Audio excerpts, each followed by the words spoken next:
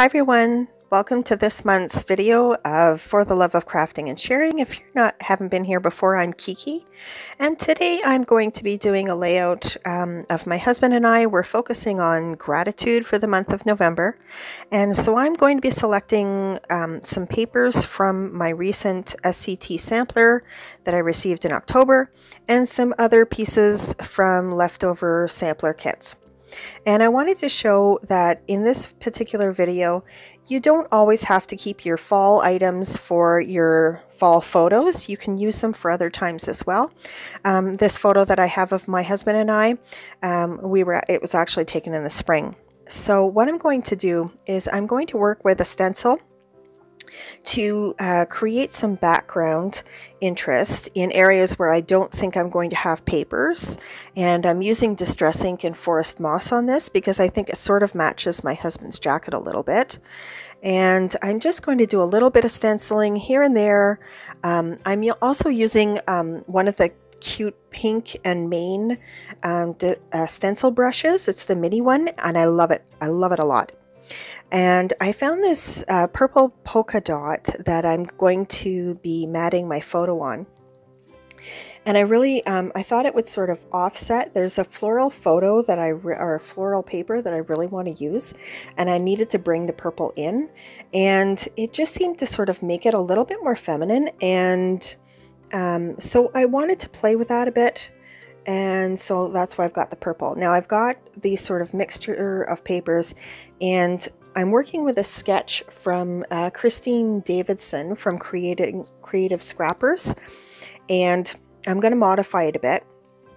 But I really love this tiny floral, and it's kind of it's dark navy with purples and I'm there's a center strip and then some um, circular elements that, that, are going to be on the page.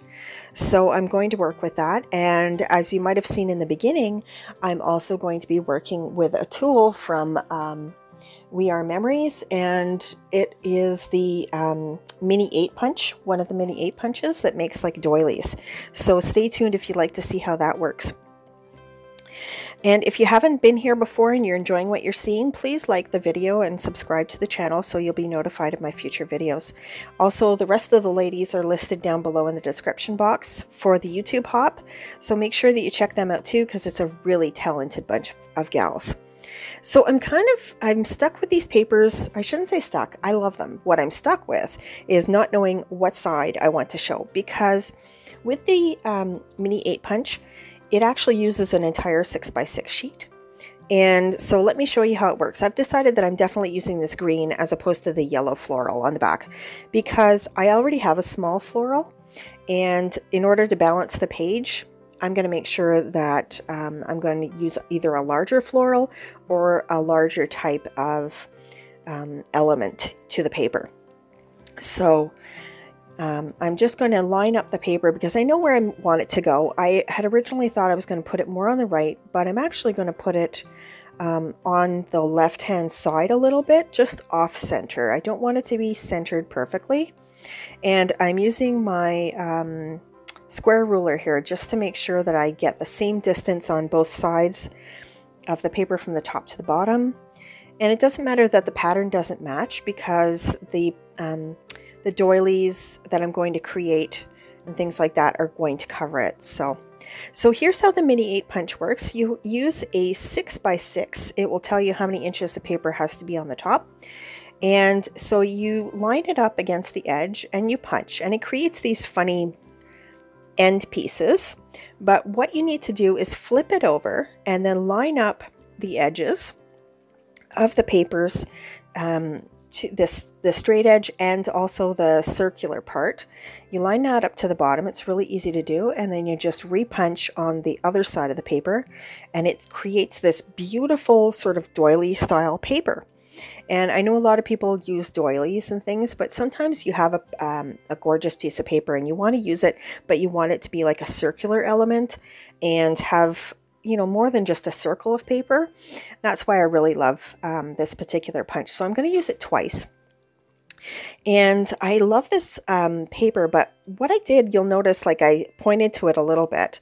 Um, there's I made a mistake on it and I had to repunch it, but I'm not too worried about it. I one corner didn't go in far enough, but uh, what I'm going to do is I'm still going to use this particular paper because I love the wording wording on it. It says blessed, um, blessings, things like that, but it does have this sort of area where there's a mistake on the paper. So what I'm going to do is I'm just going to make sure that I cover it with an embellishment. And that will um, cover my mistake, um, but it doesn't stray from the sketch either. So I'm really pretty happy with that. So I'm just going to put down these particular um, papers because I know I'm not going to tuck anything underneath them. Um, so I'm going to put them down right away. And then I'm going to work on the embellishments a bit. And I kind of, with the, the diamond shaped paper there, I kind of have it wonky because I don't want it to seem, you know, too straight and things. Um, the embellishments are going to distract from that anyhow, so you'll see how that'll all work out. Um, and the reason that I moved the straight paper over was be, was primarily because when I used that um, stencil, the ink came out stronger than I had originally anticipated. So I wanted to move it over a bit to, because I only wanted touches of that color on the white background. So, um, so now what I'm going to do is I'm going to actually pull out embellishments from the various kits. Most of them are coming from the October SCT sampler, um, but some are left over from September, August. Um, so I'm going to use what I can. And the reason I scrapbooked this particular picture for gratitude is because um, when I think of gratitude or things that I'm thankful for, it's my husband primarily because where my husband is is, is where my home is. And um, no matter where we've lived, we've moved around quite a bit in our um, years of marriage. But wherever we move, it's still it's home not because of the house, not because of the surroundings and our things, but it's home because of him. And so I thought it was really appropriate to use these um, home elements and um, and the picture of us, the two of us, because we really um, we really are blessed, even if we don't have a lot um, and we're separated from our families. Um, it it just makes you know, he's kind of my haven. I come home and I know that everything's going to be okay. So I know that sounds corny, but um, it is the way our family works. So, so I wanted to uh, make sure that I gave this uh, photo a really kind of um, special layout. So I've pulled out a variety of die cuts, um, and some of them have gold accents. So I'm going to bring in some more gold later. Uh, but I'm just going to play around a little bit with uh, the placement of things. I love this little teapot. My husband and I have tea a lot. He makes homemade chai and he's always um, giving me some lovely homemade chai to drink. And so it's kind of cute too. So I thought it was kind of appropriate there. And I love flowers. I'm not going to throw on a lot of like, um, um how should I say it, uh, heavy flowers, like, you know, dimensional ones. Um, but I am going to throw in um, some different areas. So this particular sheet, I'm cutting apart these foam stickers um, because I want to be able to move them around like they're die cuts rather than just kind of stick have to stick them down right on the paper. And um, so that's a tip for you if you want, you know, you want to play with placement and you're not quite sure where you want things and they're on a, uh, an acetate sheet, just cut the, the acetate sheet apart so that you can move things around like they're die cuts and then you know um, how you want the placement to go. So um, I really love this particular collection. Um, I can't remember, quite remember who did this um, particular one. Let me just see if I can find it here. So this is the Cozy Days collection. Uh, for the most part. It also, the SCT sampler also came with Doodlebug design, and I don't do a lot of Doodlebug stuff. I mean, my husband and I don't have children. We have pets and things, so if I do anything with the Doodlebugs, it'll probably be with my pets. Um, but for this, I wanted these, you know, really um, gorgeous colors. There's going to be lots of colors on this um, for sure, but they're all, they all work together. And um, so that's what I'm going to be doing with this. I thought originally that I would do this gold home or maybe put the heart down and then embellish on top of that. So I'm, you'll see I'll play with that. But I love all these little stickers um, with leaves and that comes uh, from the Cozy Days collection. But this sticker sheet, as you can see when I'm pulling them off, it's really thin, and I don't want them to go down on stickers. So what I'm going to do is I'm going to back them onto some white cardstock. So this is just plain 8.5 by 11 cardstock. And these stickers have a white border around them anyhow. So what I'm going to do is I'm going to fussy cut them and with some border. And the sticker will help that because of the border that it's got around it already. Um, I'm not usually one that likes fussy cutting, let me tell you. Um, and I think if you've watched my channel, you know that I'm not happy with fussy cutting. I'm trying to get better at it, but um, but for now, I'll work with it. so I love this um, blessed, this big word that came with the uh, foam sticker sheet and the grateful banner underneath it. And so that's going to be my title is blessed and grateful. And so I'm going to move, I'm going to add some of these die cuts. There's this cute fox. I, I just love it. And the fox has like, it's a female fox, obviously, because it's got flowers on it. So I'm going to embellish the title down at the bottom a little bit with some of these things that I've cut out. And these tiny, these flowers were really tiny for cutting out. So I'm really proud of myself for having done some fussy cutting um, with these. And I love the little hedgehog. The little hedgehog is adorable. Um, I might even get one in the future. You never know.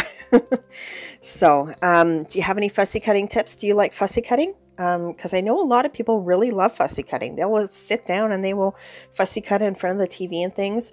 And I watched a video recently by Laura Alberts. I'll see if I can um, link to the um, video in my description box, but um, she had some fussy cutting tips. She did an entire video on how she does fussy cutting. And it was from her video that I learned that if you angle your scissors on an angle rather than straight up and down in your hand, that you'll actually be able to see better what you're cutting. And that helped so much, um, especially with these really tiny flowers. So thank you, Laura, for that tip. That was, that was awesome. And so I'm just going to play around with these different ones. Um, I tend to do clusters that aren't too big, aren't too many layers where just about everything can be seen. Some people cluster um, just for some kind some depth, but you you sort of lose looking at what exactly it is that's underneath there. But it does provide some different depth and things. Um, but I'm going to keep this relatively flat, I think. And I was originally thinking, like I said, that I would put that heart down there. Um, but I'm really, I'm not going to. I think I'm going to stick with the wording actually that says heart and home, and you'll see that in a bit. So, uh, do you have any other fussy cutting tips? When do you do your fussy cutting? Um, do you do it like all at once? Um, if you know that you have a sheet of paper that is just going to be like fussy cut flowers or something like that. Um, I know some that's what some people do. Um, I have heard um, different people um, that have said that they're going they use their scan and cut like my brother or the silhouette uh, PixScan sheet to actually um, scan in the paper and then cut out, have the silhouette cut out the pieces. I'm going to give that a shot, and um, if I do, I will make sure to put it in a, into a video, so stay tuned for that. Because uh, I think I can manage that, especially when it's like a page full of flowers and you want to get the bang, you know, most bang for your buck. Um, so I think I'm going to try that in the future. And now for a lot of these embellishments, I am going to use um, some these are 3L, I think they are, or 3D foam squares by, um, by Scrapbook Adhesives. And I've run out of my white ones, so I have to stick to my black ones now. And they're, um, they're pretty high. Some of them I've had in the past that are um, a thinner one, thinner foam, but I wanted these to have some dimension. And you'll see that I don't use a lot of them, but I did use one on this home sticker, and I decided I was going to layer it over top of the photo. Um, but first what I'm going to do is I'm going to put down the photo and I'm going to put down the elements that I know that are going to come under the photo. So for this, uh, I'm going for my orange fun foam. Um, I got it from Amazon, I think, for a package of uh, about 16 or 20 sheets, uh, really cheap and uh, it's got an adhesive side to it. And then I use my Scotch Quick Dry uh, adhesive or tacky glue, whichever you have. Um, and that gives me some wiggle room to sort of get it straight, get it lined up where I want it. And, um, and I'm able to pull it up if I need to. So I really love that glue. And as well, I got a needlepoint cap for it recently so that it doesn't, um, I don't use too much of it. And then the advantage of the needle cap is that because you don't put a lot of glue on, you're not going to get that um, paper buckling because of the glue being wet.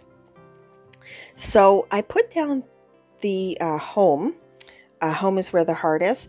And um, the thing is, is that I don't like it. It went went onto the photo, and I want it overlapping the photo, but I should have cut part of it off. So you're going to see me fiddle around with that a bit. Um, you know, we're not all perfect scrapbookers. Um, I'm certainly not. um, if you've been to my channel before, you know that I like things perfectly imperfect. That doesn't mean that I like mistakes, though. Um, I like mistakes that turn into happy things, but um, but that one isn't um, a mistake that turns into something happy. I do end up making it work, though. So so don't get discouraged if you make mistakes. Just work through it and see if you can, um, you know, maybe you can embellish over top of it. Maybe you can pull it up and place it down again in a different way or with a different adhesive. There's all kinds of things that you can do. Um, and then you don't get too concerned about, you know, everything looking perfect uh, because it's when you're starting out scrapbooking, everything is not perfect for sure. Um, I started in scrapbooking on the digital side of things, and so for me, that was um, a real advantage because I could mess sort of mess things up, mess up the look of a page, and then just move things around again, and nothing was really glued down permanent because it was all digital.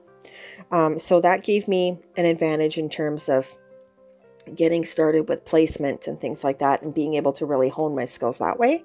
Um, not that I'm perfect by any means or any um, stretch of the imagination. Um, but yeah, so, you know, if you play around with things, if they're on acetate or if they're die cuts, you know, play around with them for a while and then that way, um, you know, you can just get comfortable. And once you have a placement, a friend of mine gave me a tip um, that once you have things down the way that you like them, take a digital photograph of it um, so that when you remove things, you could um, you have something to reference later. Or if you're like Missy uh, Wyden or Widden, um, she's on several design teams and I watch her videos. And what she does is when she has the placement where she likes it, she just uses the needle tip um, glue dispenser to, and she lifts things up very gently to glue them down in spot. Sometimes I do that, sometimes I don't. Um, so, yeah. And I really love these little leaves and things. I love the colors of this kit particularly because they're not what you would typically think of for fall. Like there's grays in it, there's purples in it. There's peaches for sure. Like, I mean, everybody thinks of, you know, falls and oranges and yellows and things. Um, but I just, I really kind of enjoyed working with this and, and working with this kit. So, um, and as I said, the sampler is just, the sampler for October was amazing. I can't wait to get the one for November. Um, but a lot, because it's, they were sort of fall themed with some new products that came out in the market, um, the ones for August, September, October, they all sort of go together. And you can work with them um, with a whole bunch of different kits. So uh, be sure to check them out. I'll leave you a link below in the description box as well. So I decided I'm going to work with that title that says uh, Heart and Home. I'm not going to make you watch the whole thing um, of me putting down letters. And um, so it's been a really kind of strange fall. Um, I know a lot of people are thinking about the pandemic these days and how they're managing it. And uh, if you're like me, um, you're at home um, you don't have a lot of family around, but you do have, you know, your immediate family and you're finding comfort with being with them. And uh, so I hope that you're all staying safe and that you're happy and enjoying this time um, to reflect on what's really important to us because um, I think that's what gratitude is all about is I read a quote once that said um, gratitude turns what we have into enough and I think that really says something. Um, we're such a consumer society, but um, we sometimes forget that we should appreciate the things that we have and not try to just build, build, build. Um, so I hope that that's um, what you're doing this month as well. It's reflecting on the blessings that you have rather than the worries of um, what's going on outside in the in the world because um, you know worry is such a I don't know it's it to me is kind of like a useless emotion because either we can do something about it or or we can't. Um, and a lot of what's going on around us, uh, we're pretty powerless in terms of being able to get rid of the pandemic or um, make other people do things um, that uh, we we're doing to protect our family. So, you know, it's just it's just better to focus on positive, focus on what your family has and what you have, and do your best to stay safe in this time um, of pandemic for sure, because it, it really is an uncertain time. Um, so I think that's why November's gratitude is really um, this this particular theme really spoke to me. So I also found this little journaling uh, spot, and I'm going to uh, journal on here about my husband and I walking. This was a, as I said, it was an early spring photo. Uh, this was one of the first outings that we did after the pandemic hit. Um, and uh, we took a little beach walk. It was cold, um, but cold and gray, and there were little bits of blue cloud uh, peeking out. And so we just enjoyed our each other's company. And you know, the pandemic has kind of been a blessing for that. Is it's made us slow down. Um, it's made us be more aware of our impact on each other and um, also our love for each other and how we can get through this if we're together. And um, so I hope that's what uh, what you think about as well during this time. So I'm going to glue that down into that spot. I left a little spot because the flowers are going to layer over top of it. Originally, I thought it might go um, into underneath, just poking out underneath the, uh, the photo there, but I decided not to. And I'm still looking through different things, but I am going to add my trusty Heidi Swapp Color Shine Spray in Gold. And um, I don't know why it is, but my Heidi Swapp has been, as I've been using it more and more, it's getting really liquidy. And so you'll see, like, as I pull it out of the bottle, there's like real drops, like real splats. Um, and for some reason, they just, um, they have gold in them, but they just don't seem to, it doesn't seem to be as thick as it used to be. Let's put it that way. Not that it is really thick, but um, so I'm going to use a little bit of tissue and um, just blot up some of the wetness because I don't want the paper to buckle there. And that's the only thing that I don't like about working with uh, shine sprays. A lot of scrapbookers will work with acrylic paint that they've watered down a little bit to get it to splatter, or they might use a toothbrush or something like that. I just pull it out and, and tap um, the end of the uh, sprayer to get it onto my page. But as I said, sometimes it just you know comes out too quickly. So, um, so I just dab it up, and you know our little happy accidents happen. The gold still stays on the paper, but the water all comes up, so it's not a problem for me. So I really hope you enjoyed this. I hope that you will um, go into the description box and take a look at the layouts um, that the other ladies have done. And here are some of the um, uh, highlights of the layout for you. And if you enjoyed this, please subscribe and stay tuned for my next video. And of course, I really appreciate you and being here.